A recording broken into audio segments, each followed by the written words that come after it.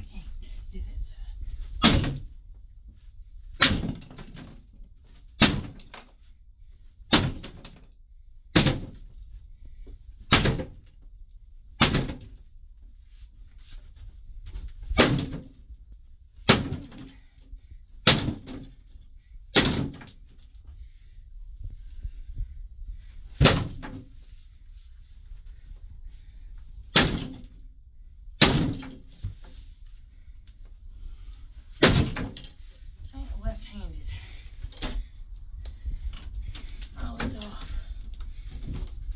It's just the carpet holding on.